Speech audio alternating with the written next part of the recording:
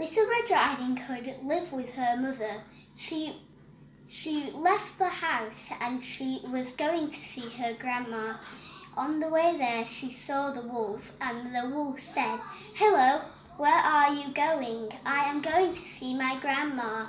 She lives in our house, and she lives behind those trees. The, wo- the wolf ran to her house and gobbled her up. She and Little Red Riding Hood reached the house and she said to Grandma, What big eyes you have, all the better to see you with. What big Grandma, what big nose you have, all the better to smell you with. Little Red Riding Hood said,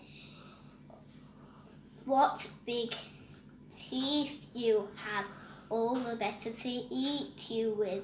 Little Red Riding Hood shouted help, and the, there was a woodcutter nearby, and the woodcutter came into the house and hit the wolf over the head and